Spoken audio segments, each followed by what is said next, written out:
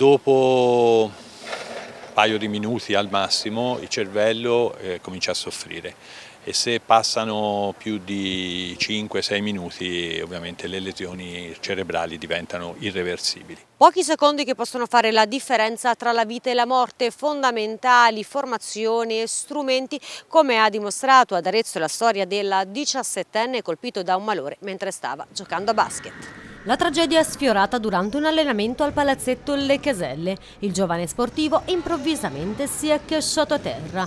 Minuti di terrore per chi si trovava sul parquet a mantenere il sangue freddo un dirigente formato all'uso del defibrillatore. Velocissimo abbiamo messo il defibrillatore che ci ha detto di dare lo shock, abbiamo dato lo shock e poi il ragazzo ha ripreso e poi è arrivata l'ambulanza, hanno stabilizzato e tutto è andato bene. Devo dire che sono stati momenti complicati però alla fine ha fatto tutto il defibrillatore quindi è fondamentale veramente fare questi corsi, si dice sempre ma tanto a me non succede, tanto ci sarà qualcheduno. E poi dopo se non c'è nessuno tocca a te. La provincia di Arezzo è una delle più cardioprotette d'Italia, oltre 1200 i defibrillatori presenti e censiti, 45.000 invece i cittadini formati. Per intervenire in, questa, diciamo, in questi tempistiche così rapide occorrono due cose, accorgersi, avere il defibrillatore e ovviamente poi chiamare il 112. La società retina di basket negli ultimi anni ha formato oltre 100 persone all'uso del defibrillatore. Siamo ben contenti che questa cosa possa essere magari presa